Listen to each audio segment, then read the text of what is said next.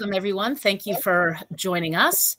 Um, we are fortunate to have uh, Jay here, and hopefully Larry Satcowitz, our uh, other rep, will join us. I hear Mark MacDonald is there at the school, and welcome Jeff Francis, um, who is uh, the executive director of the Vermont Superintendents Association. Thanks for joining us as well.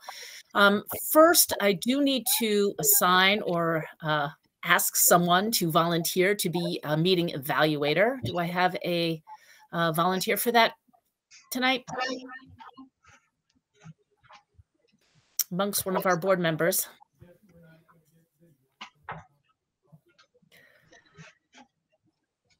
Hannah, would you be willing to do that? Yeah. All right. Thank you. Oh, Ashley? Okay. Thanks, Ashley. Thanks for volunteering. All right. Um, I would, is there any public comment? Um, we did uh, have a schedule for some time for public comment. There will also be time uh, after we hear from the legislators. Um, but I did want to make sure that if someone had something non-related to what we're going to be talking about later, they ha could have a couple of minutes now. Hearing none, I'm going to um, give the floor to Jeff, Francis, and Jay and Mark. Um, thanks. Thanks again for joining us. Sure. Um, first, I want to check my audio. Am I coming through okay? I've had some trouble with my internet today, so I hope that that matter's resolved. Um, I want to thank you for the opportunity to meet with you, uh, be it on an online platform. One of the highlights of my winter each year is coming down to Randolph to meet you with, with you all and give you a little bit of update on what's happening um, in the in Montpelier. Um, as you know, um, the dynamics for the General Assembly have been affected by the pandemic, just like the pandemic has affected everyone else, and it's really um, a different form of interaction that we have. Whereas uh, in a typical year, you would be visiting committees and talking to people such as Senator MacDonald. I haven't had occasion to see him um, virtually yet this year. I've been visiting the House Education Committee where Jay is a member, um, but it's different. Um, and the the high priority for the state in general is navigating the pandemic, but the dynamics in public education have caused the General Assembly to turn into an array of issues that are not um, central to the pandemic, um, but are reflective of what um, is necessary and desired in public education in general. So, what I thought I'd do is just sort of give you the high points on what I've observed in the session so far talk a little bit about key pieces of legislation and then step back, let you have a discussion amongst yourself with the legislators. Maybe some of it in response to what I'm about to say, but I'm sure that they've got some topics to bring up with you as well. Um, so there's a resource that goes out to school board members and administrators, the um, Education Legislative Update. And the last one um, was published at the end of January. And there's a lot of comprehensive information in there about the status of legislation currently. Um, but there's a few things that are happening that aren't reflected in that report. Um, so I'll hit the high point of the um, of the report first, um, and then talk about uh, another issue or two. Uh, so the the first piece of legislation affecting schools out of the box was H48 and that was the bill that allowed um, municipal legislative bodies, including school districts, to move the date of their 2021 annual meeting to a later date if they chose, and also require the clerk to mail out 2021 annual annual meeting um, absentee Australian ballots. So that was a, a COVID specific response. Uh, school districts weighed in heavily in the development of that legislation, really with two things in mind. One, for unified union school districts, there was an interest in making sure that the municipalities that made up those districts, to the extent they were able, all voted on the same date. Um, and and and two, um, we wanted to make sure that uh, local school officials we're working closely with um, town clerks in particular in order to accomplish that. There was a statement of intent in that bill that indicated that that bill's been approved, and I'm, I would imagine that your plans in your district for for your voting are, are all set. So that was one issue. Um, another significant issue that um, has not, it's a bill that hasn't been enacted into law, but it was um, intended to convey to school district officials an improved picture related to the um, yield for every dollar of taxation. So you'll recall that in December, the letter that went from the tax commissioner to leaders in the General Assembly basically forecast a very bleak and dismal um, fiscal outlook for the coming year and a yield that was based on pandemic circumstances at the time and specifically with respect to education, a, a, a very sizable deficit um, in the education fund um, because of some broad-based taxes, and and Mark MacDonald knows this better than I do. The the the picture for the Ed Fund improved dramatically on what I think is a one-year um, scenario, but it allowed the Ways and Means Committee to pass a bill out of their committee that increased the yield um, for a dollar of resident property taxation to eleven thousand three hundred eighty-five dollars that that was up uh, measurably over the um, the yield last year. And you know, I, I, don't like to characterize it this way because I think that uh, everything is sort of more moderate than this. But school districts officials across the state um, did breathe a sigh of relief because some folks were dealing with very modest increases in education spending, modest increases in ed spending per pupil, um, but they were seeing pretty substantial tax rate increases. And the increase in the yield had the effect of um, moderating those tax rates.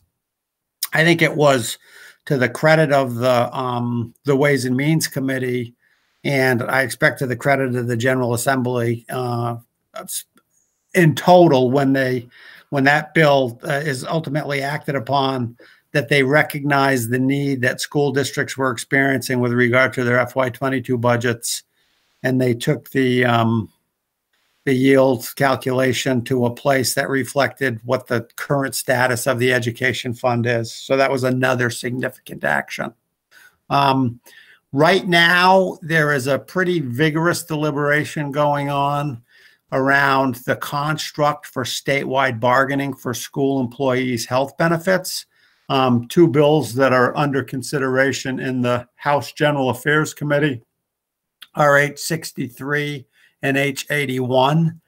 Um, the last year, the um, uh, well, the the state um, completed its first round of bargaining for school employees' health care at the statewide level, and the commissioners on the um, on the ed, the um, employers' side um, raised some concerns about considerations for affordability in the context of those negotiations. So there were two bills that were introduced to the House Committee on General Housing and Military Affairs. One's H63, the other's H81.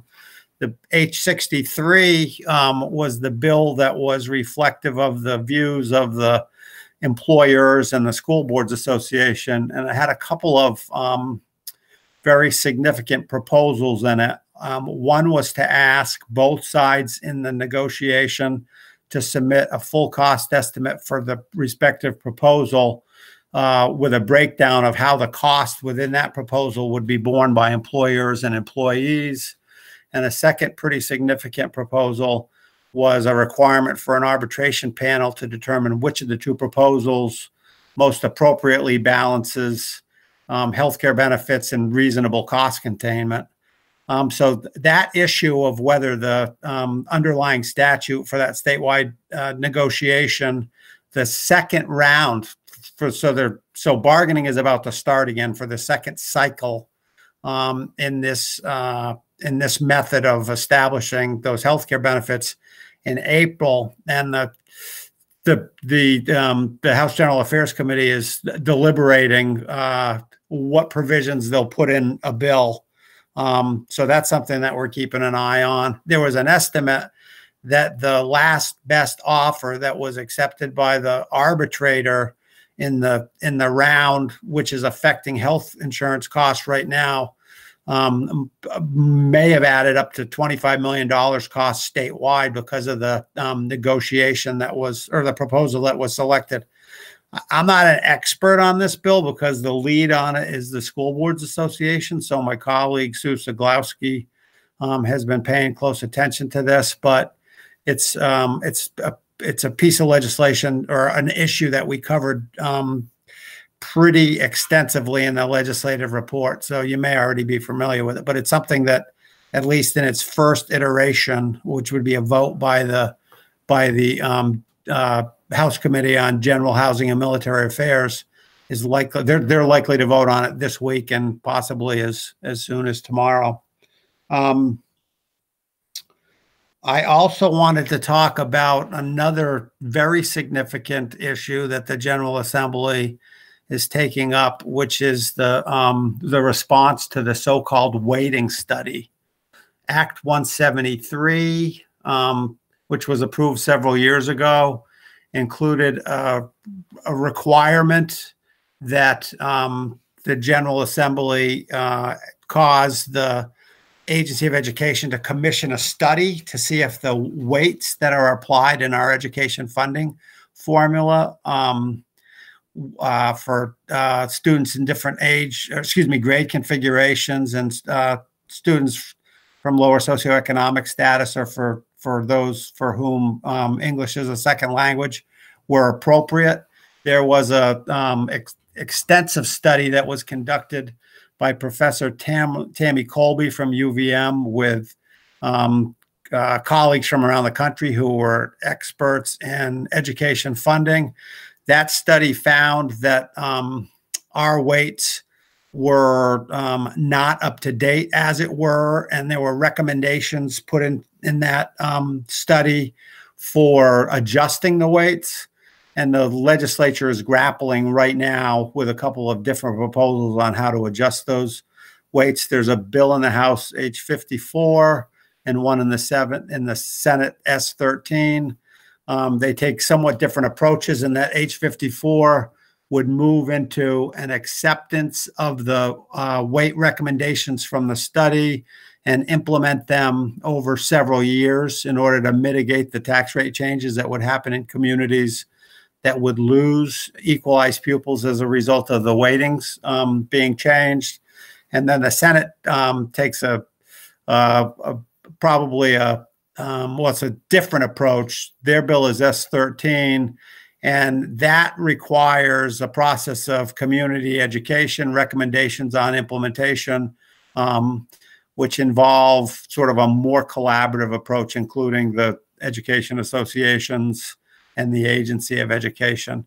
Um, I'm not exactly sure what the disposition will be of the General Assembly with respect to this. That hasn't started to um, really reveal itself yet. But what I will say is that it is um, a pretty significant matter to change the weights. Um, I don't think anybody questions the study that acknowledges that the weight should be changed, but the tax rate implications um, uh, as a result of changing equalized pupils uh, uh, responding to weight changes is measurable in some communities. So, at least for the Superintendents Association, we've been talking about approach and values as opposed to the outcomes because uh, it's pretty hard to represent all communities in the state um, from a district to district perspective because the implications of the weight changes um, may have. I'm not sure how your district's affected. Lane may know, but there's plenty of information online. Um, that would help you uh, understand that. Um, something else that uh, we're happy to see underway right now, the House Education Committee is trying to do what it can to um, get school construction aid restarted in some form or fashion. There was a suspension on school construction aid in 2007 So, for all intents and purposes, except for emergency situations, the state has not been contributing to capital construction aid um, through any type of capital construction aid program, at least. Um, so we are working to support a bill that would um, see a analysis of uh, facilities in Vermont statewide, sort of get a benchmark on the overall condition, um, restore capital construction aid, upgrade the standards for school buildings, et cetera. Um, so that's one aspect of this issue. Another aspect of the issue is both responding to and preparing to respond to, the uh, matter of um, need for health and safety improvements in schools. So you'll recall that a couple of years ago, the General Assembly passed legislation that was intended to address lead in um, uh, drinking water uh, in schools. Um, we now have the um, in the uh, uh, environmental situation up in Burlington with PCBs, that contamination. So, with an aging stock of um, schools like we have in Vermont, we know that th these schools are going to need upgrade and improvement, both environmentally and just in terms of their physical space. So, we're working with the General Assembly to turn into that um, this year. Uh, another big sort of news item. Um, and again, Senator MacDonald probably has been thinking about this, and and because I know it's been discussed in his committee, um, are the um, the current liabilities of the pension fund. So uh, Treasurer Beth Pearce has been traveling from committee to committee in the State House, explaining the circumstances associated with pension funds, um, which are pretty bleak, frankly. Um, and we've reached a point where the treasurer's recommendations are to adjust the um, the contributions and benefits that would be available to um, future retirees in the from the with it who are participating in the pension fund and that's something that uh, it is very concerning to us because there's no apparent resolution and if teachers are asked more to contribute to the pension fund system and then be beneficiaries down the road of lesser retirement, it takes Vermont's system, which is already doesn't compare favorably to many other in the country, and exacerbates a situation where we're trying to make sure that we can re recruit personnel to our system. Um, so that that is something that is um, uh, we're we're really playing paying close attention to. Um, i am going to pause there because I've given you a fair amount to think about and reflect upon, and I suspect that uh, that Jay and Mark will want to weigh in with perspectives on um, at least one or two of the items that I've spoken about. So, thanks very much for allowing me to join you, and I'm happy to participate in the conversation from this point forward. Should I go ahead, Madam Chair? So, for anybody who doesn't know me, my name is Jay Hooper. I represent the five towns of Brookfield, Braintree, Randolph, Granville, and Roxbury in the state legislature. This is my third term. It's my second term on the House Education Committee, and I am forever grateful that uh, Jeff Francis is in my committee daily and comes here to, to tell us in great detail uh, what's going on. So, um, the weighting study is something I would want to to to add perspective to. It's something. It's a it's such a huge topic that I believe this. Um, well, as Jeff mentioned, the the the legislature at large. Uh, there's no way to gauge sort of when that issue might sort of start start becoming a conversation that the General Assembly is engaging with collectively because, well, frankly, it takes it takes the the Vermont Principals Association a minimum of 11 minutes to explain the basics, right? Just the nuts and bolts of our education funding structure uh, on a YouTube video, which uh, I would encourage you all to review over and over.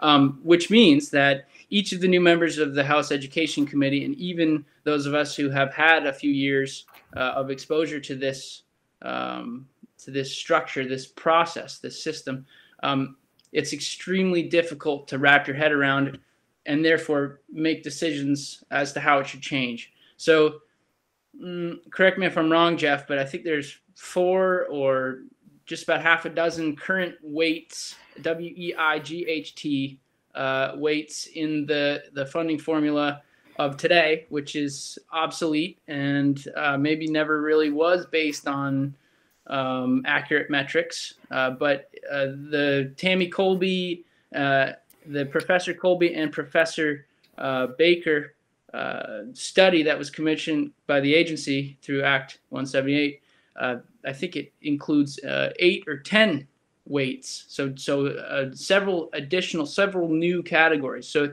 this is a conversation that's going to take several legislative sessions uh, to see uh, a change. Uh, the the the various bills that Jeff just mentioned will probably see the light of day this session, but it will. I I would doubt that that would come to a vote until at least next year or maybe later. Um, one of the things I'd like to emphasize to you all this evening is that uh, there's sort of a consensus in the House Education Committee and uh, potentially also uh, over in the other chamber that right now, uh, being that we're halfway or better uh, through a pandemic, um, we've been so disconnected with what was normal that we actually have an opportunity now to redefine what's normal. So I don't know if there are there's a wish list on this school board for things that would change, you know, fundamental changes, like for example, uh, how long the school day is, or uh, um, well, something like that. You know, that that's the kind of thing that we're we're looking into, or uh, how can we better utilize uh, public buildings like uh, schools? You know, because they're empty all summer and empty all night. Um, um, amongst, uh, well, I guess other than all the things that Mr. Francis just articulated well. I guess the only thing I don't I don't know if he mentioned literacy. We maybe will take on uh, the sequel to lead, which would be radon uh, remediation. Um, but uh, you know, I think between teachers' pensions, the weighting study, and school construction, it seems to me like the House Education Committee will have quite a full plate.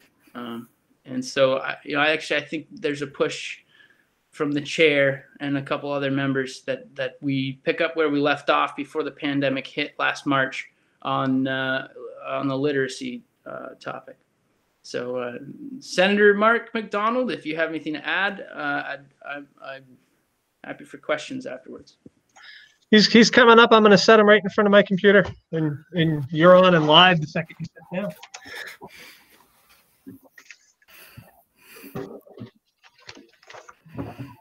Thank you, Jay. Um,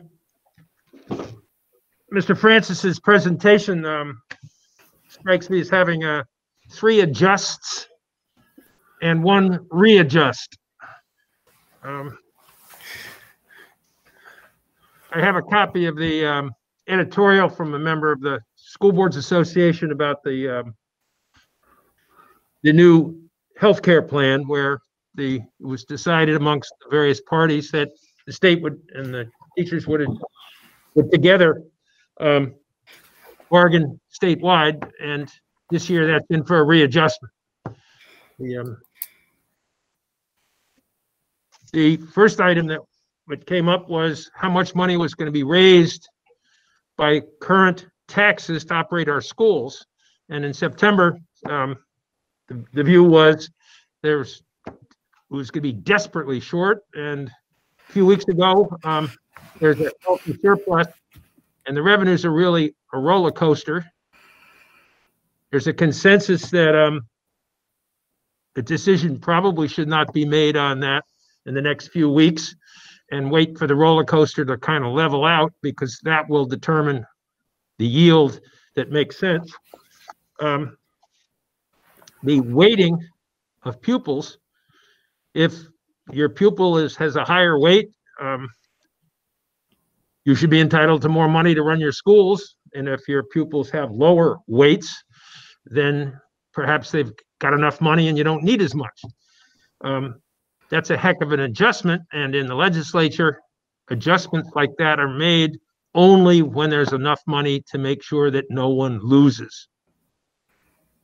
If you're going to make changes, if we are going to make changes on weighted pupils, um, you're not going to get a change unless you can keep the school districts whole that are likely to lose funding. And um, it's pretty much a rule of thumb. Um, and last of all, anyone who can explain how the current funding system works in 11 minutes um, ought to be on a speaking tour. Um, That's Nicole Mace, I believe. Actually, they, they leave a few things out, Senator MacDonald. In order to get it to, in order to get it to 11 minutes, but it's pretty good. It's a pretty good video. I'm Um, shocked that something got left out. It's on Um, the School Boards Association website. um, when Act 60 was being put together, uh, there was a meeting in Strafford, Vermont, and it was being, the proposal was being explained. And um, someone asked, how can you trust the legislature to fully fund this new plan? And um, Paul Cillo stood up and threw his hands in the air and says, trust the legislature? Are you kidding? You can't trust the legislature because they only last two years. And then you have to deal with a new legislature and they don't have, they're not obliged to do what the previous folks did. Well, that bill eventually got passed and it's been in place for um, coming on 22 years now. And that, that is a shockingly long time for legislatures excuse me, for state aid plans to work. And I, I want to add a, a little second story on to explaining how the current system works. After it passed into law, it took about an, a year to put it into place. And uh, Jay, your father, um, had a group of Russians were visiting the United States to come and see how democracy worked in the United States. And there was a meeting over in the town of Washington and explained, there was an explanation of how the, the state aid formula worked. And it took an hour. And it was a night like tonight where people were cold and ready to go home. And when the explanation was finished, everybody looked at each other and said, with their eyes, I don't want to hear any questions. We want to go home. And um, then was a voice from the back of the room, and the Russian guests, one stood up and he says, in a Russian accent, This is very good plan. How can you trust the legislature to fully fund it? And the fellow that was explaining it um, didn't know how to tackle the question. Well, the answer was in Strafford and then again in Washington, you need to have a formula that works no matter what the legislature does. You have to have one where everybody is affected if there are any changes. If you're gonna, you have to be prepared to make it work no matter who the legislature is. So you've got, we're looking at a rewrite, attempted rewrite of the healthcare statewide contract negotiations. You're looking at measuring pupils differently and assigning money differently. And you're looking at revenue sources that are going up and down like a roller coaster. Um, and I was amused by the School Boards Association saying that they were trying to look at this as an issue of values instead of an issue of money. Which is my hat's off to them if we can get away with looking at it as values instead of money, but to change and recognize school districts that are have a a tougher challenge than others is going to require answers that are um, tougher and cost more. Same with um, Same with teachers' retirement. I have a story on that one, but I'll save it. So,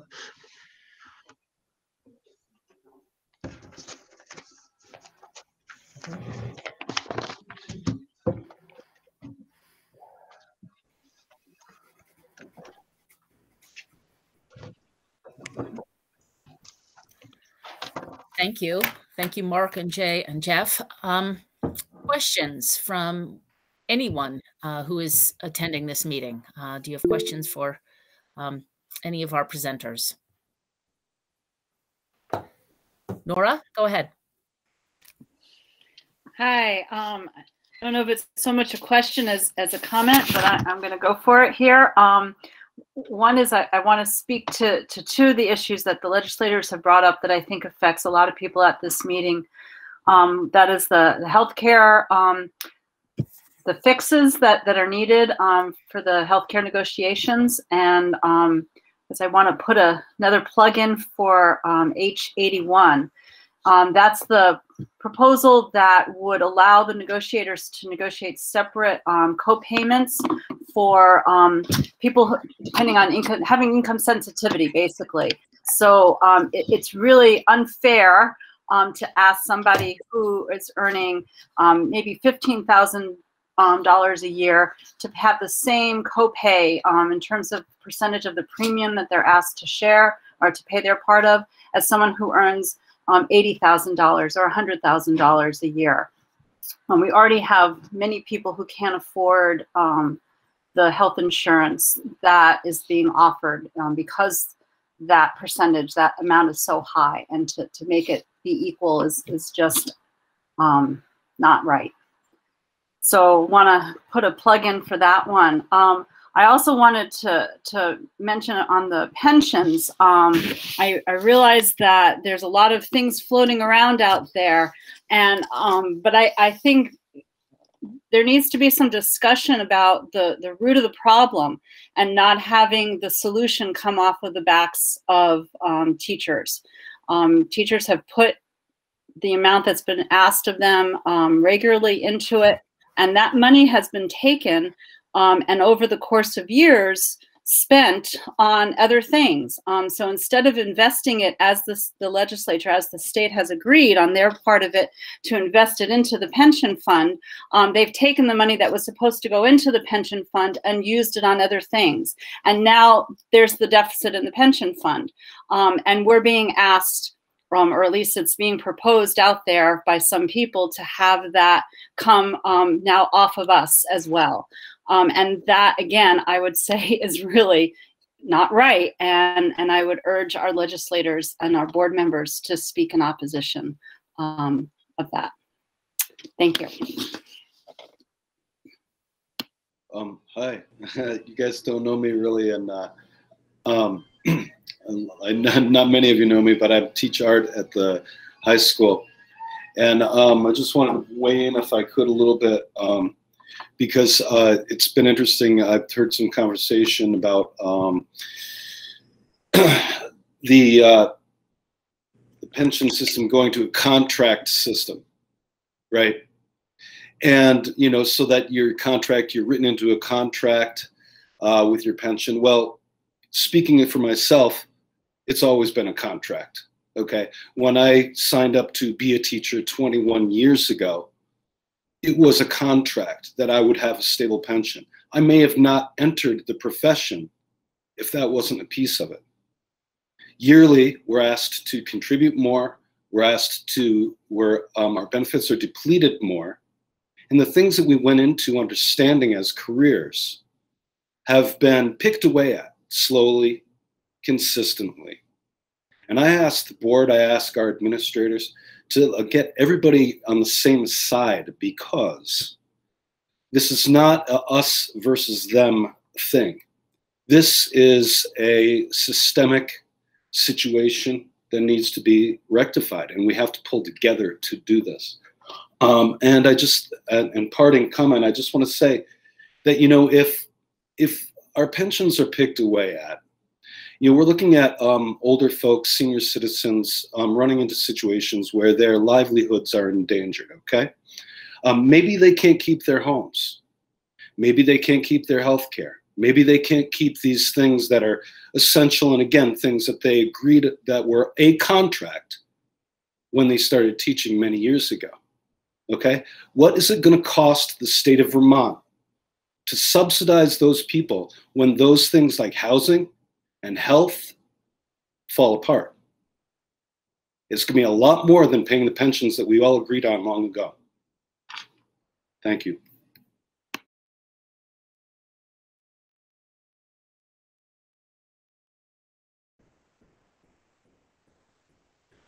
Well, uh, thank you both for for your remarks, and uh, we're I hear you. Um, anybody else have anything to add to that? Um, this is Tev Kelman, if I could speak.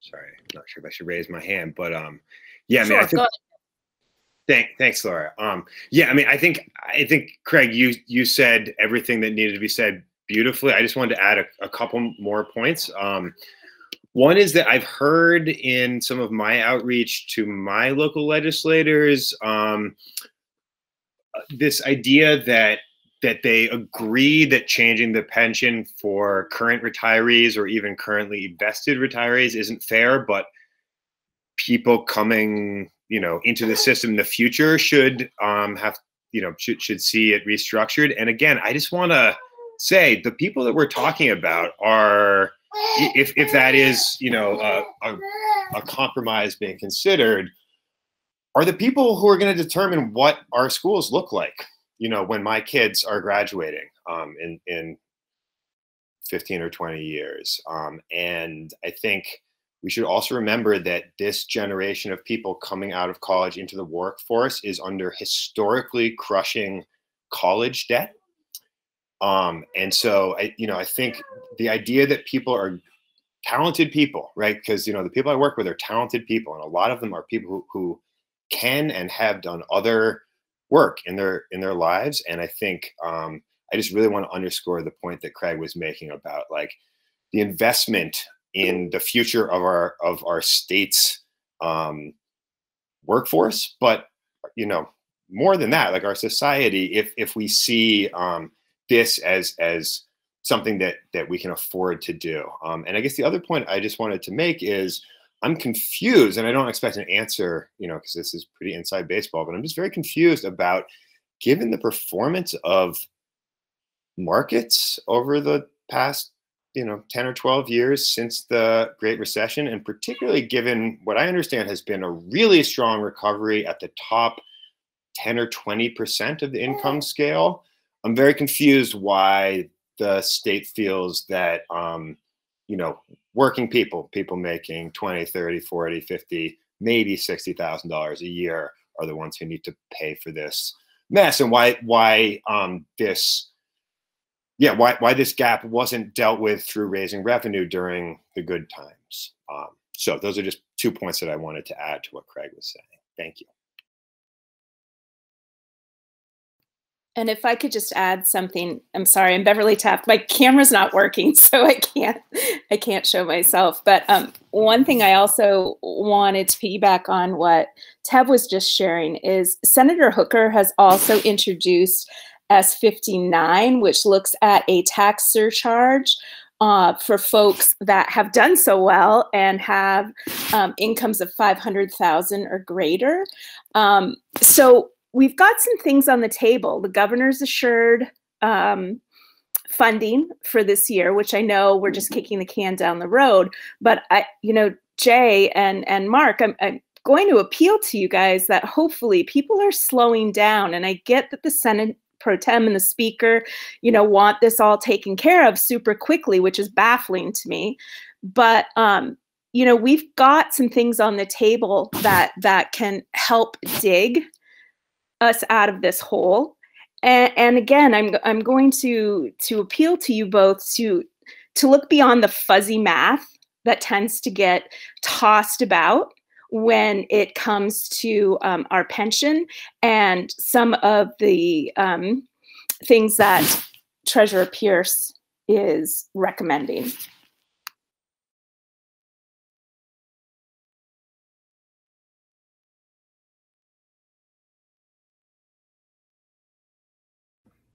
Are there other comments or questions for the legislature, slators, and for Jeff? David White? Thank you, Laura. Um, different topic, though I support the um, the idea of our legislators pushing back on the treasurer on that subject. So I do hope you do that. But I read in Digger recently, I think it was yesterday, that there's a bill being introduced for um, banning the hiring employing of school resource officers. And I'm just curious if we have one pre-pandemic in our district, and if so, would this bill impact us? And if so, what our legislators think about it? Thanks. David, I saw that headline today, and uh, I haven't yet read the article, but it was an you know I was kind of intrigued to know where that's coming from and certainly who who brought it about. Um, I think Jeff maybe would be the guy to ask as to whether or not the state really has very many officers in in school systems. Uh, I don't know the answer to that, but um, I I have an idea as to why somebody would want police to be, uh, you know, not in the school system or, or an officer of some sort. But I also think that that's a that's a discussion that would have a, a pretty valid uh, rebuttal to that. Okay. Yeah. Well, this article claimed more than half of the schools currently in Vermont have a school resource officer.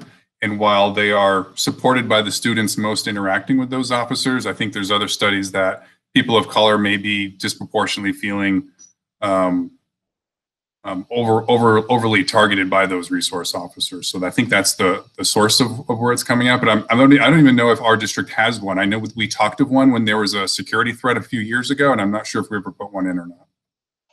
So we we had actually um, talked about it at that point in time. Um, during my time here, we have not had one um, during the discussions about whether we should have one during the open forums, um, the the message, at least at the folks that were attending, was loud and clear that they did not want that in the schools um, at that point in time. I can say that um, as a high school principal for couple of decades um, in Massachusetts that in those schools we always did have a resource officer, and it was a very good and cordial relationship that those um, individuals had with all students, um, and those schools were very diverse, um, especially compared to, to to most of Vermont. Thank you.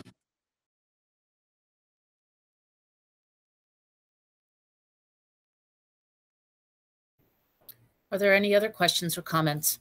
Well, we have them here.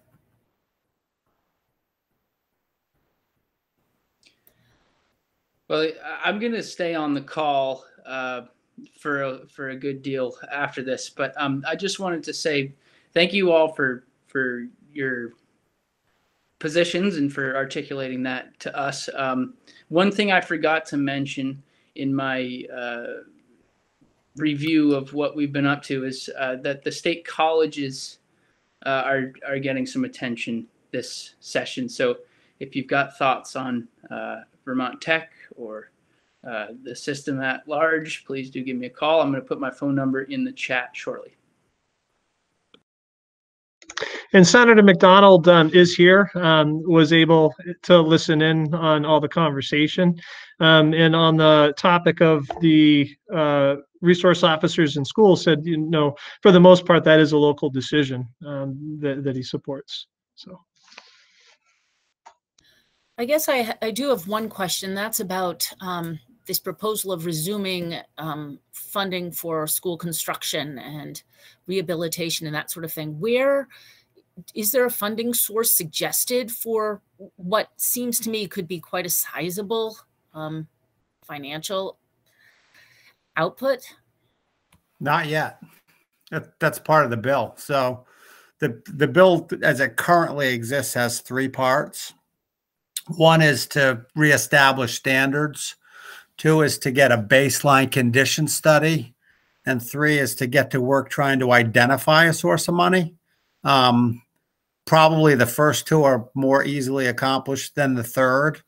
But when you think about the the age of the school buildings in Vermont, um, very, very little done in the last 15 or so years, not much in the 15 preceding that. and then there was money in the 70s and you know at various intervals but it's difficult to well and i you know in my experience visiting schools at least in randolph you've got schools you know that are in really good condition. It's not the same as you'd find in other places. So you know i don't mean to sound trite about it but the the old adage is when was the best time to plant a tree? 40 years ago or yesterday. And we're at the yesterday stage. If we don't get if we don't tackle this problem head on then the buildings are going to continue to deteriorate and we won't have the type of education system that we want to. So there's not a funding system yet but that's part of the legislation would be to try to find one thank you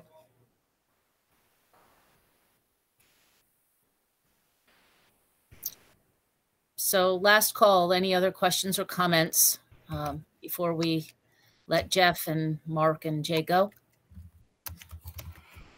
I just would like to thank you all for hosting me. I hope to be down there in person next year. I hope so. All right. Thank you very much. We really appreciate um, you guys taking the time to brief us and, and take questions and so forth. Thank you all very right. much moving on. Um, on our agenda next is just a reminder, really. We've got um, an OSSD budget informational meeting on Wednesday, February 24th. Um, that will be at 6.30 p.m. in the auditorium at RUHS. It's also accessible remotely. Um, so that will just sort of review for our stakeholders, you know, what our budget is as proposed and for for ready them for the vote, which will take place on March 2nd. Um, which is generally town meeting, is not town meeting, at least in Brookfield this year. Um, but the vote will continue to take place on March 2nd, um, both in person and uh, by absentee ballot. So uh, we also do have a, um, uh, what is it called? A school meeting, I guess it's called, uh, on March, Monday, March 1st, the night before uh, March 2nd vote, uh, which will also take place in the auditorium at RUHS and remotely, just to do our regular sort of organizational business for the school board. Um, next, we've got a review and approval of support staff side letter. Um, this was uh, in our agenda packet for uh, school board members to look over. Um, I will plow forward and just introduce it a little and then open it up to comments and questions and clarifications um, if people from the union also want to sort of better explain it than I happen to be doing. Um, this uh, issue sort of was an unresolved issue um, since last the period between March and June of 2020. So, as everyone remembers, um, we were forced into uh, emergency remote session um, in mid March, and we remained there until the end of the school year. Um, students were all taught remotely, and so for professional staff, their jobs continued more or less, less sometimes, but I mean, as usual. Not easy, but they were still able to do their jobs. Um, some support staff were not uh, necessarily able to do their jobs remotely. Um, so there was this unresolved issue of what to do about support staff who were uh, not able to work because they were either COVID vulnerable health wise or because they had to do childcare at home and were not uh, able to be in do their job at the school for instance cleaning cooking those sorts of things which did continue um, at the schools itself themselves. Um, at that point, the school district asked those support staff members who were not available to work um, to take their sick leave uh, or leave time first uh, before being paid. Um, and pay continued for everyone throughout that time period, but they were people were asked to take their sick leave first. Um, then later in in August or July August period of time, uh, the union and the district sat down and created uh, drafted a memorandum of understanding um, to cover work conditions in this school year 2021. At that point, um, we agreed to uh, excuse uh, uh, people from taking leave time if they had a doctor's order, um, a written doctor's order. Um, and it covered anything uh, sort of described as um, COVID related uh, condition under the CDC guidelines. Um, but we did not resolve this remaining issue of uh, last year's March to June's healthcare um, leave problem. So right now we have a side side letter and settlement agreement between the district and the union, um, which is, as I said, uh, written out in our agenda packet. And that is something that we need to discuss and decide whether we are going to approve this as written. Sorry, that was kind of a awkward explanation. Um, there's some history and yeah, anyway, uh, I didn't do a particularly good job on that, but you get the gist of it. So um, anyway, questions, comments, Nora, you're welcome to weigh in. Lane, um, anyone else who would like to sort of better explain or clarify it, that would be welcome. I think you did a nice job, Laura. uh, so thank you. It, it, it, what this really is is just a, um, it's almost a, an addendum to the memorandum of understanding. It would it would just go into it. It was the one thing that we that we didn't um, resolve when we were working all of that out, and and hopefully it is now resolved. Yeah, it basically uh, extends to that time period what we decided to do for this current school year. Correct. So it basically will ask those support staff members to put forward a doctor's um, letter uh, for them to recoup that leave time. Right. The the one the one there are two categories where they wouldn't need the doctor's note, and just to make sure people are aware of that, that is if they were um, or are were older than 65 during the time. We figured we didn't need to have them go through the trouble of getting a doctor's note for that because that's a, a, matter of record in the personnel file. And um, also the, the folks that needed to do childcare because this was before there were other things in, in place for that. And it was, anyway, there, there are some other reasons that go with that too that I can go into. So those would be the two categories that would not need doctor's notes. So, Nora, the union has decided that they would accept this. Uh, Correct. It has been ratified by the by the union. Yes, okay. by the members of the union. Okay. Are there any other questions or um, from board members or or from the public? Um, but board members first.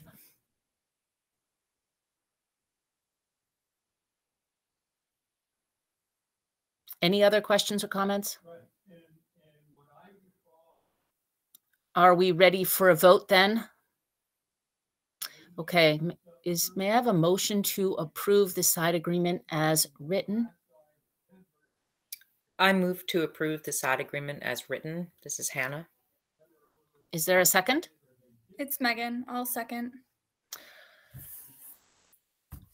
Any further discussion? Um, because I can't see all the board members on my screen, I'm going to have to do a voice vote. Um, so I'll call your name and just say uh, aye or nay. Um, Hannah? Aye. Megan? Aye. Anne? Aye. Ashley?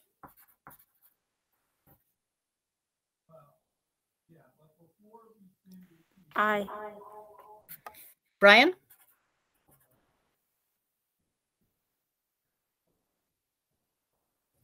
Aye. Rachel? Aye. Katja? Aye. Okay, and I'm in agreement as well. So um, we're all in agreement over the side letter, and so that's great. We can sign that and sort of finish that last piece of unfinished business. Thank you. All right. Um,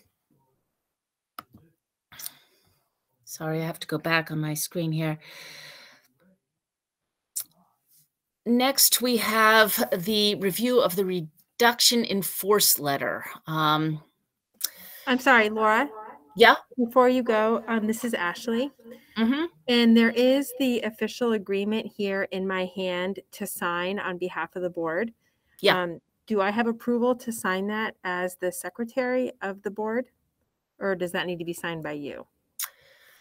There is, um, we assigned someone to sign in, uh, in absence of the chair, and I can't remember who that is. It may well be you, since you may, may have volunteered as you go by that office all the time. Linda Lubel, do you happen to know who that person is? It is actually, It is actually, yeah. So Laura, I'm going to go ahead and sign it. Perfect. That's great. Thank you. All right, um, Lane, do you want to speak about this, um, this RIF, or and then we can hear from Nora or someone else on on behalf of the Sure. union? So, um, as part of following through on contractual obligations, anytime that the district is considering, um, a RIF or reduction in force, um, for those that are out there in the audience and don't know what that means, um, basically a layoff. Um, we notify the union, give them an opportunity to talk about it with the board, um, because the board is actually the deciding, uh, authority on whether or not, um, to RIF, uh, an employee. Um, in this particular case, uh, we've discussed this um, a, a little bit previously over the last year or so. Um, we do have a program at uh, RTCC um, that has been chronically under enrolled um, for a number of years now. Um, and we are at the point where we are planning on closing the program at the end of this year. Um, the staff member who runs that program was notified in writing last year um, to give uh, that person plenty of time to look to make some decisions about the future. Um, but the intent is to close that program, um, which requires us to lay that employee off to, to RIF that employee. And I'm open to questions or thoughts or comments.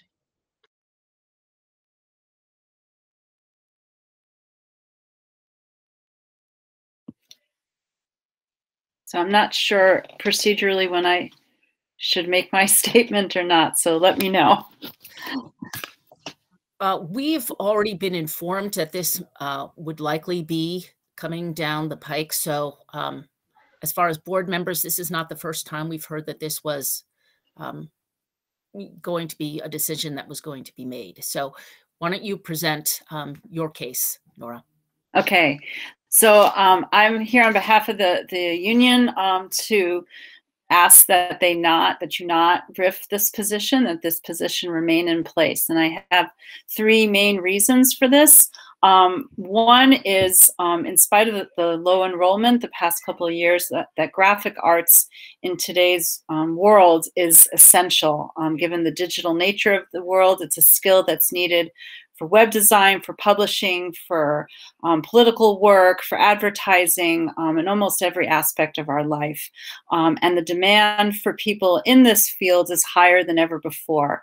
If we want a program like the Tech Center to be attracting students from other districts, I would say that we would, it's essential that we have a strong um, digital and graphic arts program, um, which this could become.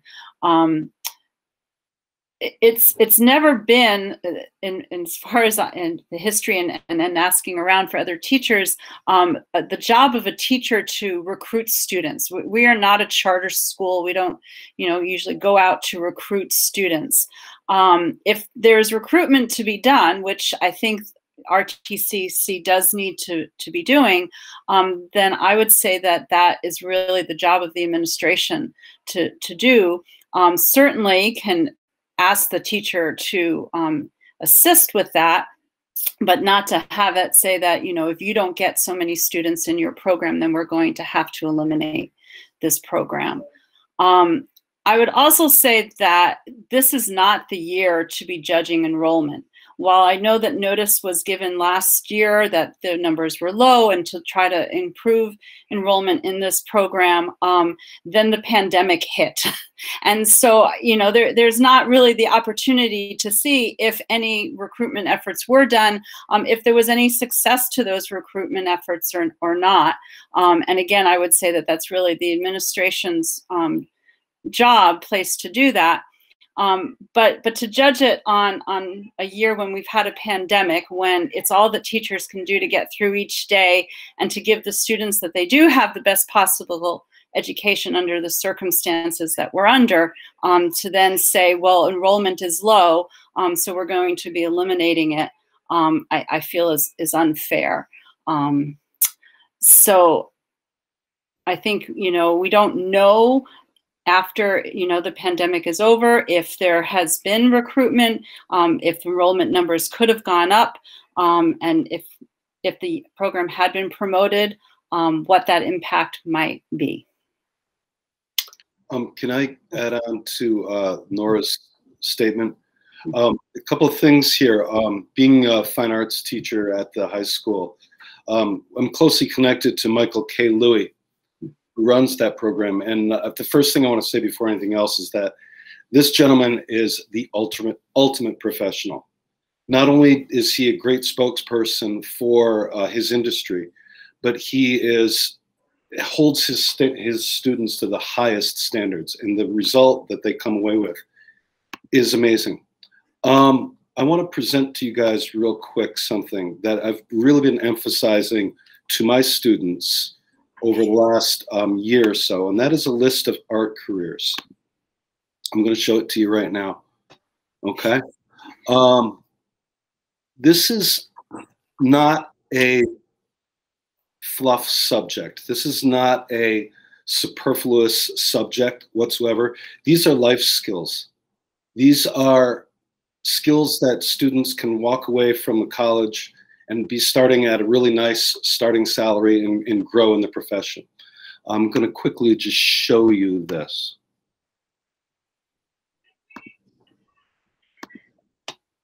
And to, boot, to, to, to go any further with this, this is a partial list of things that people can do in the arts. Okay, so it hits it hits to my core when we when I when I see things like the graphic design um, program being you know kind of targeted because it seems like it's connected to the arts and that's a thing that we standardly do is kind of is kind of pick on those areas.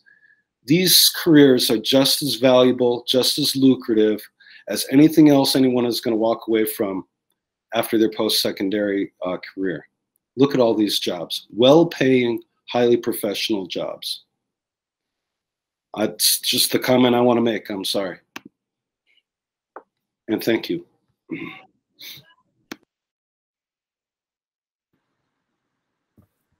Are there any other comments? Go ahead, uh, Rebecca. I would like to say that I totally support Craig, and not just because I'm also an art teacher, but because I know lots of people who are employed in the field of graphic arts, and their starting salary is a lot more than teachers. And um, it's the kind of job that people are going to be able to do more and more remotely so the more people we have doing those types of jobs here in Vermont, um, the better that is, I think, for us. Um, so aside from the benefits of the arts um, and the fact that that really is about visual communication, I think that's visual literacy is an essential skill that our students should have. Um, as much as, and this isn't putting down early childhood or putting down um, automotive. But maybe first we should be trying to do some more recruitment. Yeah. So I, I guess I, I would like to echo that. I think rather than eliminating the program, I think putting the effort into um, and there and therefore eliminating that position. I think putting the effort into modifying or creating the program, um, improving it, changing it, making it more robust that way, and um, and to to be looking at this next year as a as an opportunity to do that, rather than saying that RTCC is not going to have um, the graphic arts pro program any longer. So I'll speak for a little while um, to kind of respond to some of the comments that have been made. First off, um, there's a picture being painted in the portrayals that are being rendered that is not realistic and not accurate to what is happening here. The arts are not being targeted. The arts are not being picked on by this. We have a program um, who extra effort has been put into for at least the last five years in terms of recruitment to make it viable and to keep it healthy. Every year for five years, we get a minimal number of students that are in that are just enough to keep the program viable. And then later in the year, after the program has started, those students leave the program and the numbers get down to about three students. This cannot be sustained. It has an impact, a negative impact on everyone else at the tech center because these programs that are not not reasonably enrolled um, cause tuitions to go up, which puts a drain on all the other programs at the tech center. And yes, the other schools are not supposed to be looking um, at tuition costs uh, as students are making decisions to come to the tech center, but that is not the case. As those costs go up, we do have decreases in enrollments that occur. Um, this has been thought out for a long time. There has been lots of discussions around recruitment. There's been lots of discussions with the individual, excuse me, with the individual that teaches the course, um, and it still has not made things viable. Um, the graphics arts per se is not necessarily going away. There is a one-year plan um, in place to try to combine it with the film program, which has also um, been suffering a little bit in recent years, and trying to see if we can combine the concepts of those two into one curriculum under one program. Um, so the program itself, um, in part or in whole, is not going away. It's going to be combined with film under a different curriculum that combines the two um, to try to keep that going. So I don't know if there's other questions or other, other thoughts or other concerns.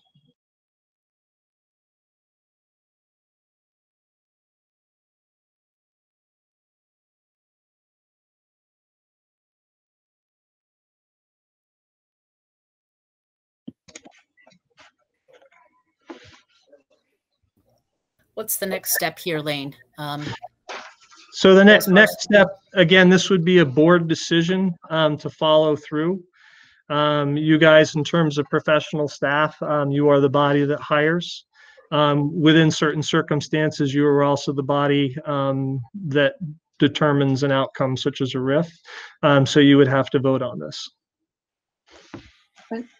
Can, can I make one more um, one more point before um, it goes to the board for discussion is um, I, I, guess I, I, would ask that, you know, is this about the program um, or is it about something else? And, and if it's about something else, then maybe that needs to be addressed. Um, but, but eliminating what we're talking about tonight is eliminating a, a particular program um, from RTCC. It's not about um, the position it's the because the position is or the person it's it's who's teaching it it's about the the position itself the program itself. I'm not sure if you're asking a question or making a comment nora. Well maybe it's kind of a combination of both. Um, uh, and and i don't i don't want to get into to a discussion on on a particular um, an evaluation of a person's um, performance, job performance or not. I, I think we need to look at this as maybe that, so it is more of a comment. We need to look at this as an evaluation of a particular program and the position that goes with it. I, the reason that we are even looking at this is because we have a program um, that has not been sustaining itself. We have not mentioned, I've not mentioned talk anything whatsoever about an individual here tonight. So I'm not sure where that piece is coming in from. The program that we were talking about is graphic arts, which has been under enrolled for year after year despite efforts um, in terms of recruitment. Um, the program itself, as it currently stands, is going away and being combined into a single program combined with filmography. That's the intent. And we're not even sure if that's viable. We want to give that a try for a year and see how that goes. But we're hoping, you know, that in that way we'll be able to preserve those components. So, Lane, I wonder, um, have you researched places where those two programs are put together? Um, because it would be, it's not a very common, you know, amalgamation of different skills. Um, they're both in the arts, but they they employ pretty different skill levels. And so I just wonder, um, has that been looked at, and, and has it look? Have you looked at how um, you would meet two different sets of national core art standards um, to do those?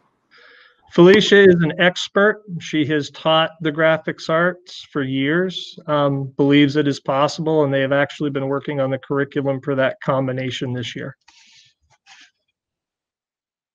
Um, you're lucky to have her. oh, she's awesome. She she really is. I guess the the other question, and this would be a question, and and I, um, you know, trying to say it very respectfully here, but but to maybe ask what what has been done to promote this program, um, and to look at, um, maybe looking at that a little closer, to be trying some other things, um, before eliminating it. Nora, work has been done um, directly uh, with the instructor to generate ideas. Um, additional work has been done on the evenings that the students come in to visit the programs. Work has been done on the flyers and the advertisements that go out. Um, the everything that was possible to try to preserve the program, um, especially given the equipment that that program uses, um, is quite extensive, was done to try to preserve it. Um, we are at that point where it has not been viable. It has not been viable for a long time. And we need to make some decisions um, that are going to keep the enrollments up at the tech center um, about programming so that the tech center as a whole can remain viable for all the other instructors that are there. Lane, can I just add, I, I serve both the Randolph mm-hmm. Tech Center in my professional job as well as the Hartford Area Tech, Tech Center. And Hartford has done the same thing. They've merged the, the video and the, and the digital, and, and they call it sort of illustration and digital media. I forget exactly what it is, but they've combined these two as well. So it's sort of like the way I explain it to students, it's sort of like digital media and it and it includes the whole spectrum of of those uh, fields.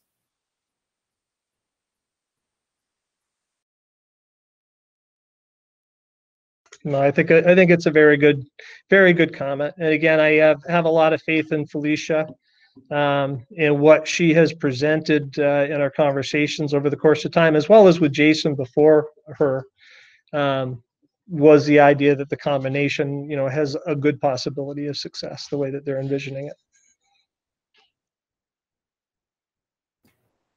Are there other questions or comments? Lane, would this uh, make sense to have this vote be um, because really we're not talking about personnel per se, but about programs.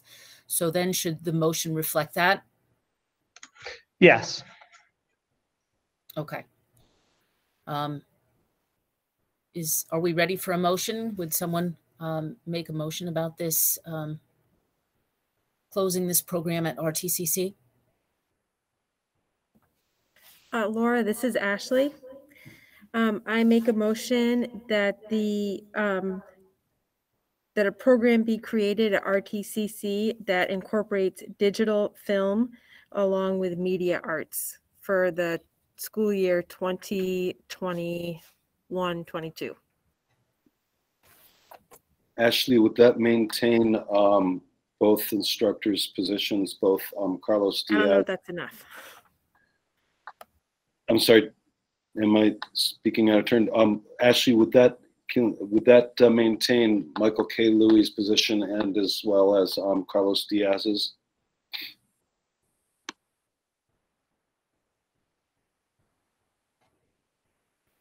No, it wouldn't. We, it would be combining two programs into one program. So there would be, as I understand, there would be just a single instructor for a single program.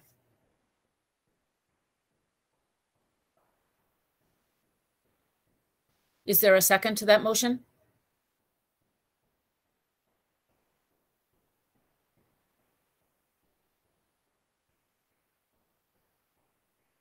Sorry about that, Laura. We had the speaker down, so we weren't getting feedback. Okay.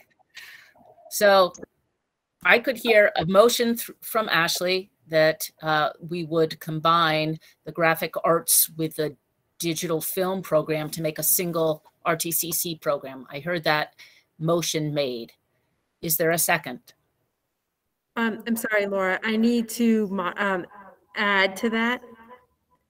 And with this motion, it would include the reduction of one staff member. Okay.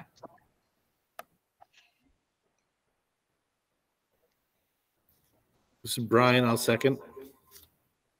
Is there any further question or uh, discussion before we take a vote?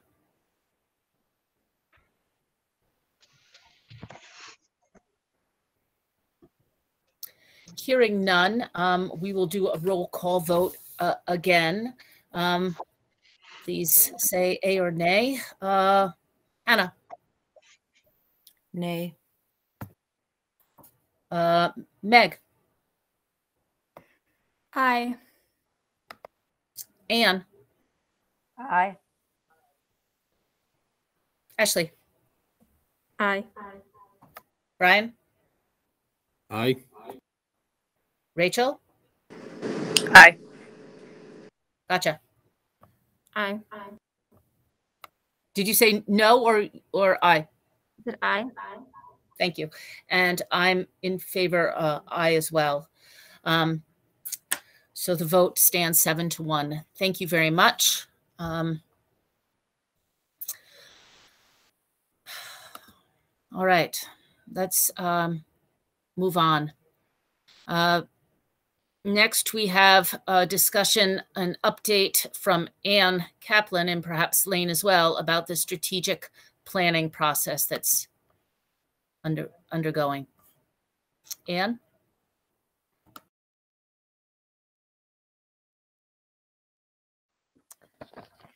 So we have had um, four feedback sessions so far um, with our focus groups. Um, w- the first series of feedback sessions have been focused on the middle school, um, uh, academics and climate, uh, transition and structure. And we've uh, heard from our UHS students, alumni, non-teaching staff, and uh, the business and nonprofit community, uh, community leaders. Um, and we have four more to go. They're all going to be happening, I believe it's uh, this week. Yes, they'll all be done by the 11th. Um, so we're having on the February 9th, the middle school students feedback forum. Uh, on the 10th, the administrators. On the 11th, the uh, professional teaching staff. And then on the 11th, also um, parents. Um, and then what's going to happen is the design team for the strategic plan is we're going to sort of synthesize that data. We're also trying to push out to the community through um, the, the uh, board website, um, Facebook, um, a front porch forum, the newspaper. We're going to be putting out um, a link to a survey, and basically that will be for community members who haven't been in these these uh, focus group sessions to provide that same feedback. So they're going to have the same questions. And, um, and then the design team has to take that information and sort of synth- synthesize it down into a few um, goals. So we're going to have our meeting to do that on the 16th on those middle school questions. And then um, we have a whole nother series. So again, eight feedback sessions with the same um, feedback groups that are going to be focused more on the high school. Um, and the high school focus is also going to be on academics and climate. And then, uh, oh, I didn't take the actual notes. So academics, climate, and there might be something else, but I can't remember exactly. But it's sort of taking those um, initial areas that the board had done in its initial uh, strategic planning process and and developing those. Um, so things are going pretty well. It's been great to. Um, I so far I've only um, I've overheard the alumni because my son participated, and then I was a part of the um, uh, community leaders and business nonprofit um, group. So, um, but it, it's really um, it's been kind of interesting to hear what folks have to say.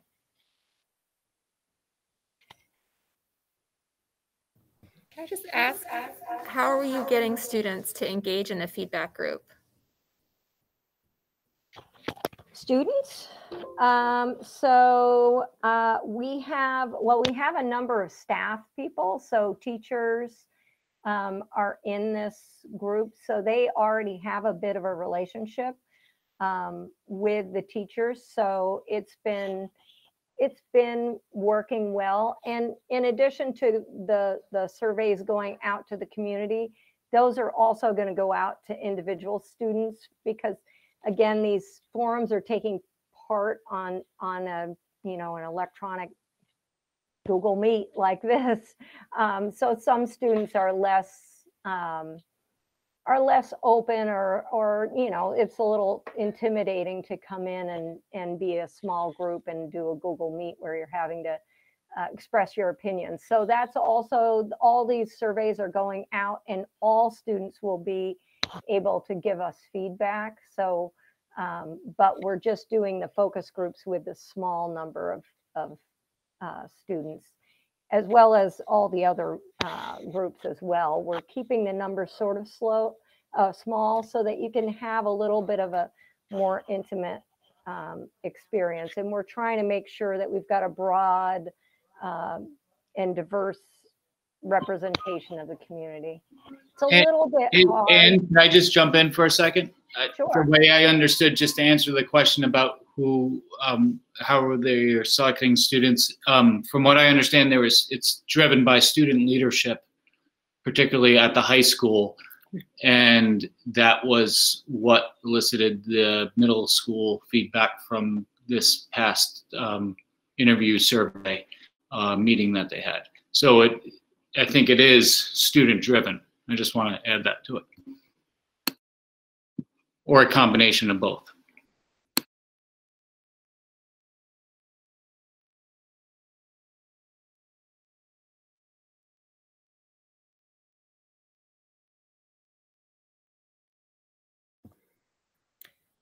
Lane, was there anything you wanted to add to the uh, strategic planning discussion?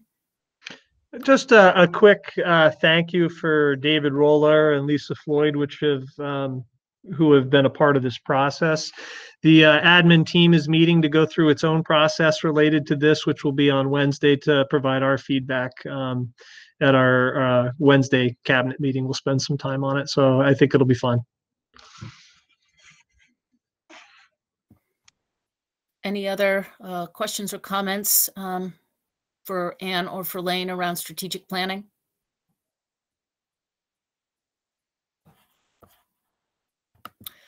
Thanks, Anne, for your work on this. All right. Um, well, next on our, our uh, agenda, Lane, is a negotiations update. So would you speak to that? Yeah, we had our uh, first round of negotiations um, on the teacher's contract that happened last week on February 2nd. Um, the big part of that meeting was that both sides get their initial kind of proposals on the table about what potential changes um, they're looking for. Um, the district on its side uh, made five different proposals. Um, the first was that it asked to reduce the length of time a position is held available for a staff member on long-term disability. Um, currently, it's at two years, um, and we were asking for that to be reduced uh, to the contract year in which the disability occurred. Um, we ask for the ability to be able to lay off uh, a technical center teacher whose enrollment falls to zero during a contract year um, they would still be able to keep their uh, seniority, their bumping rights, um, but the bumping rights would uh, come into play at the end of that contract year. Um, we asked to reduce the yearly allotment of sick days from 18 to 16, and then to eliminate uh, the remaining emergency days uh, that are a part of the contract. Um, and probably the most important one um, for us was we asked to be able to front load um, the full professional development days to the beginning of the year. Um, as part of that, is a, a separate piece um, was uh, seeking kind of the elimination of the clause that is in the contract um, that allows the teachers not to make up the first two snow days each year. Um, we pay them 185 days a year as per the contract, um, but two of the days, if they're snow days, they don't have to make up. So typically in Vermont, um, it's 183 days um, that they, they work. Um, we offered a one-year contract um, with concerns about uh, the next round of state healthcare negotiations that are happening next year um, because we can't tell what the financial landscape is going to be um, two years out, and a salary increase of 1.6%, including STEP. Um, on the union side, they made five requests. Um, the teachers are seeking an early retirement slash resignation benefit. Um, they are asking that a teacher who has 25 years of teaching experience overall uh, with 10 years in district, um, they are asking the district to provide them with a cash payout of 60% of their salary. Um, they would like an additional 60% of their last year's salary to buy additional times towards retirement from the state. They are asking the district to pay for insurance coverage for an individual for one year after they leave the district. Um, in a separate proposal, um, they asked to increase the number of paid leave days they can use under the Family Medical Leave Act uh, from the current 30 days to 60 days. Um, they asked for each teacher to have one hour of self-directed time um, free from duties during each workday um, that does not include their lunch time.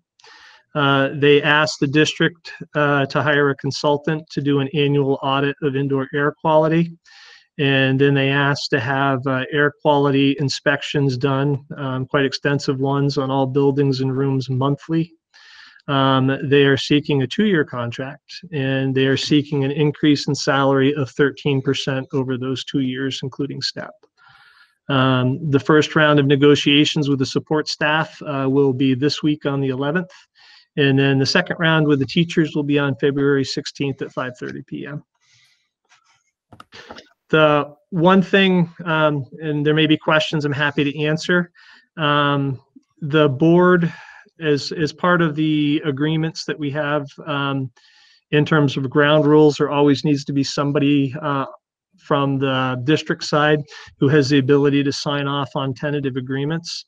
And things have gone very well in the last uh, couple of years, um, but I would ask the board to do a vote um, to allow me the authority uh, to sign off on tentative agreements if a board member is not present at those negotiation sessions, just in case. Um,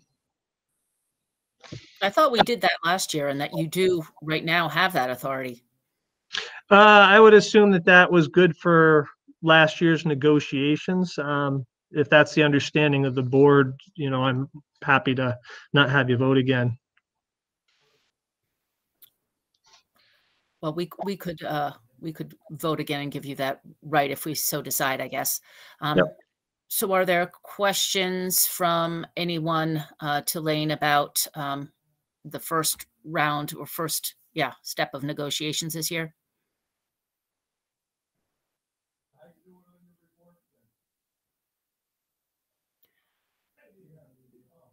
Do we want to um, vote on giving Lane the authority to sign on our behalf um, in case no board member is present? Laura, I got one question, quick question. Okay, go ahead. the board members on the committee have authority to sign?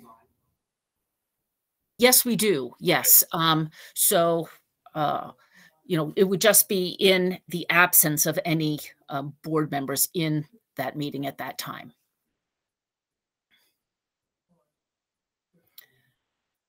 So if it is in our interest, um, would I have a motion uh, to to allow Lane to sign in uh, the absence of a board member during, um, you know, in a tentative agreement uh, during negotiations?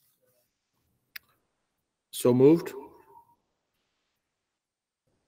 Is there a second? Uh, it's Ashley, I second. Any further discussion? Just, just for my information, who right now is on the, uh, high, uh, the professional staff negotiations team as far as we're going? So it's Brian, Hannah, and Ashley? Okay, great. Um, yeah, I mean, it seems like most often someone has been there, um, which is It's great. Megan, Ashley. Laura, Yeah, you said It's you had Megan. said professional staff, right? yes, So that's me and Hannah and Meg. okay. Great. Um, so we've got a motion on the table here. Um, are we ready for a vote? Not hearing any other discussion or questions. Um, I guess I'll go around again since I still cannot see you all. Hannah, um, are you in favor? In Can I, can I say a comment? Is that Sure. okay? All right. Um, I think that Lane is, um, been a super, super strong, uh, influence in this district. I think he's been a great, uh, superintendent has done a great job. I get really nervous about giving that kind of straight up sign off power to a single individual in absence of others. Um, that's that's all I'm going to say on it. I think he's got a really great level head. I think he makes great decisions. I just don't like that unilateral kind of um, paradigm.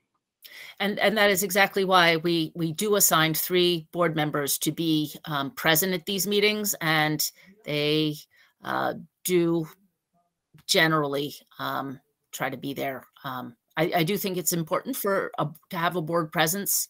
Um, thank you for your comment. Um, so Hannah, I'm going to start with you again. Are you in favor of this motion? Aye. Uh, Meg, Aye. Anne, Aye. Ashley, Aye. Brian, Aye. Rachel, Aye. Katja, Aye. and I'm in favor as well. Thank you, everybody. Um, next, we have uh, two uh, new EL monitoring reports um, submitted by Lane. This is a first read of these reports. Uh, we will approve them next month. So please, uh, if you have further questions, Lane will give us a brief overview right now if he wants to, but uh, you can both read them over and get further information at the OSSD office for background materials. Um, Lane, do you want to speak to either of them or are they? Yeah, um, they're they're kind of boilerplate, and it's kind of nice that they've timed them um, during this time of the year to kind of go along with budget season. Uh, executive limit, limitation 2.3 is financial conditions and activities.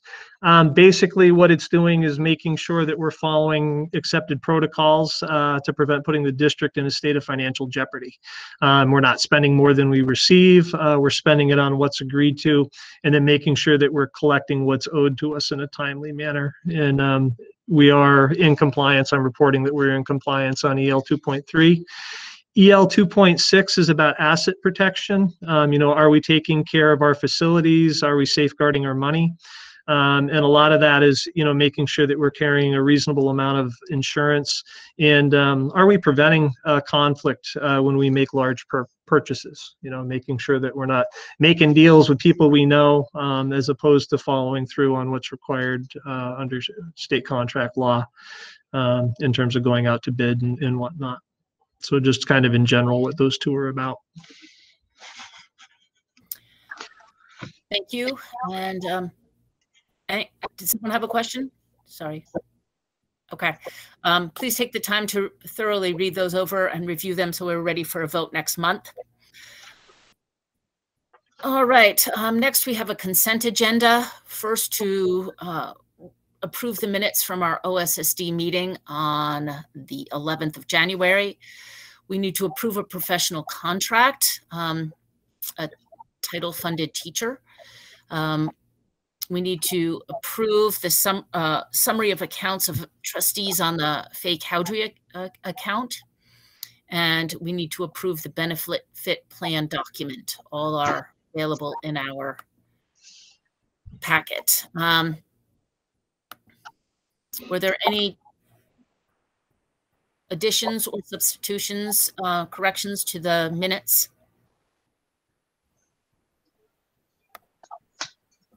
So Okay. Laura, do you want to um, approve the entire consent agenda packet or one by one? Um, I would suggest that we could do them as, as a whole. Um, they're pretty routine. Um, if I hear someone has a, a obje- objection to that, please state so. Otherwise, I'd like to just approve them as one.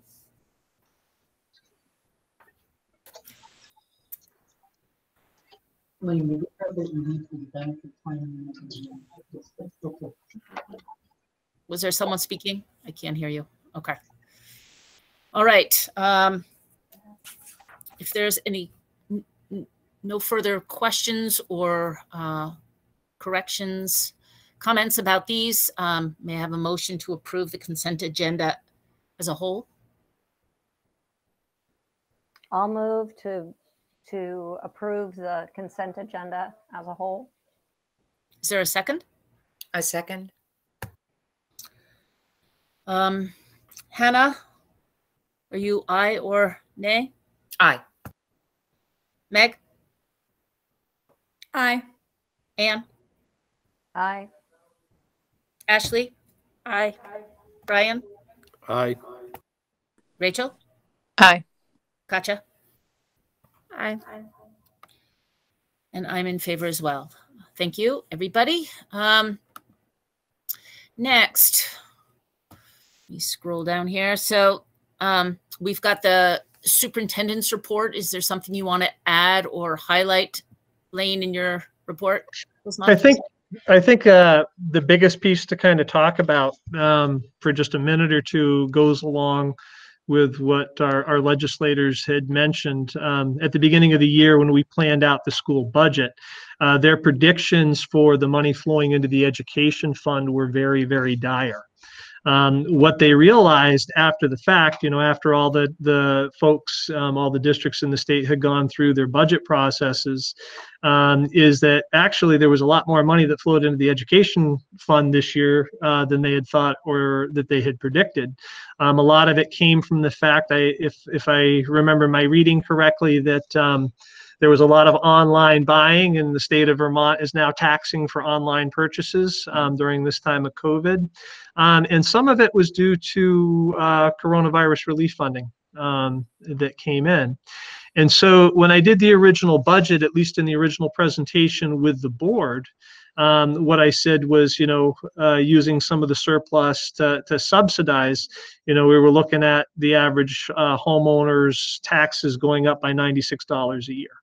Um, the reality is, is right now what they are predicting um, for a new property yield, um, which is basically one of the ways of interpreting that is how much money they give us per enrolled student, um, has gone up enough that our tax increase will be zero. Um, based upon what they're talking about in the Senate right now. Um, if they actually increase it further to the amount that uh, Jeff Francis spoke of today, our taxes will actually go down um, on average for the average homeowner in our three towns by about $200 per year. Um, so it all depends upon where they land, but the out, outlook is actually pretty good in terms of the impact that the school budget will have on folks' taxes. Um, at, at, a minimum, what's expected um, in terms of them adjusting the yield um, is going to put us at a, at a neutral footing. Um, in other words, a zero zero increase to the communities, which is awesome. So that's the only thing that I wanted to talk about because it's good news. So. I see there's principals reports also the financials. How are we doing as a district right now? Actually, really good. Um, I talk about, you know, I do look at, at some of the finer uh, details of the finer lines that are in the budget, but the rule of thumb is I take a look at how many months we are in. I do a division, and right now we're 58% through the school year. So that means we should have at least 58% of our budgets left at at the, the, the school district level and at RTCC. Um, right now, um, RTCC has got 59% of its budget left, so we're right on target. Um, OSSD, we've got 52.88% left. Um, but the reason that is, is that we're still waiting for $700,000 in uh, coronavirus relief funds to come in and replenish the extra that we used um, to kind of support operations during this kind of COVID. So we're actually in really, really good shape um, right now.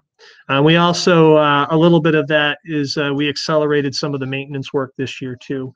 So stuff that would have been spread out a little bit more over the course of the year um, happened a little bit earlier in the year. So, but no, we're in good shape. And Robin gave it gave it her stamp of approval when I talked with her this afternoon.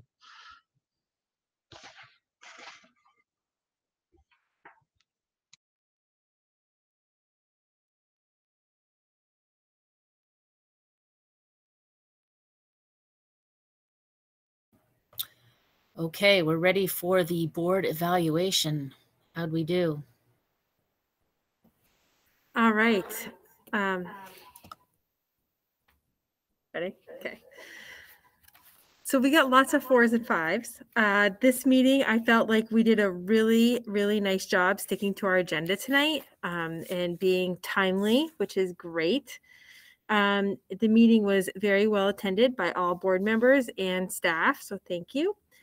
Uh, the board appears to be prepared and that we proceeded without interruption or distraction. Um, there was discussion prior to decision making as to why we were following that process. Um, our participation was not um, balanced across the board. Um, that's probably something we could certainly work on. Um, however, people listened intently and folks were treated with respect and courtesy. Um, our work tonight certainly did focus on a policy level and not on an operational level, which is the way we're supposed to work. And um, the actions considered by the board were our duty to consider. Um, kind of jumping around. Um, I think we should spend a minute or two um, acknowledging our board chair, as this is, I believe, maybe her last meeting. She thinks um, Laura once did once again did an outstanding job um, leading the discussion and leading our board. So I think we can all thank her for her years of service. Thank you very um, much. Thank you. Wish you were here, Laura. um, and I also would like to give a shout out to Ann Kaplan. I think she's clearly doing um, an excellent job owning the strategic planning process. Really good work is happening, and I have no doubt it is a lot of extra time. So, huge kudos to Ann for that good work. So, overall, I think we did a great job, team. Well, thank you. Thanks for doing the evaluative yeah. work. Um, we do have um, an executive session uh, to talk about some personnel issues. And um, following that, we will do have time because we're so early to do a policy governance training. So we will return to this um, to this link for that. Um, and uh, for now, though, we will leave this link and move to an executive session. So thank you everyone for attending We'll be back.